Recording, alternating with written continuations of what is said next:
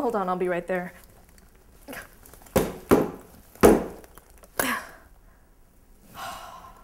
Dead batteries.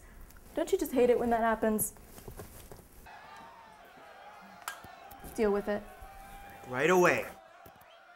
So, while we're on the subject, what to do with these? Most of you couch blobs would probably just throw them in the trash or on the floor with the rest of your garbage. But here's an Angry Green Girl little concept for you. These are recyclable. That's right. Just like your bottles, cans, and plastic containers, which I know your lazy asses are already recycling, because if you're not, you don't even deserve to be wishing you could have a piece of this right now.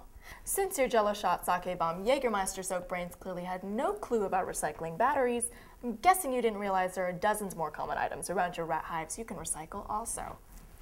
Cell phones, CDs, eyeglasses, smoke detectors.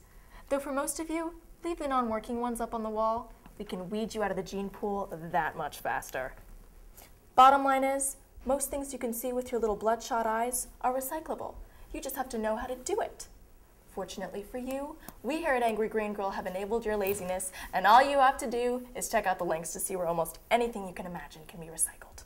You'll be amazed at the things you can find on there.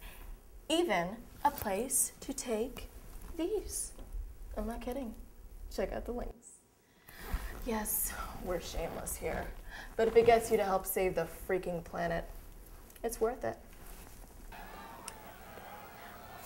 Thank you, thank you, thank you.